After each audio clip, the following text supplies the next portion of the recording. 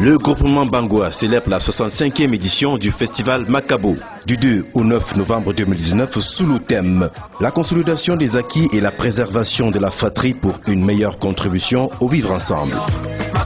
Au menu, danse patrimoniale, exhibition des sociétés secrètes, excellence scolaire et une conférence sur le regretté Twinjan Pouemi. Le festival Macabo 2019 est sous la coordination de Sa Majesté Djampu Chachuang Anik Julio, roi des Bangwa.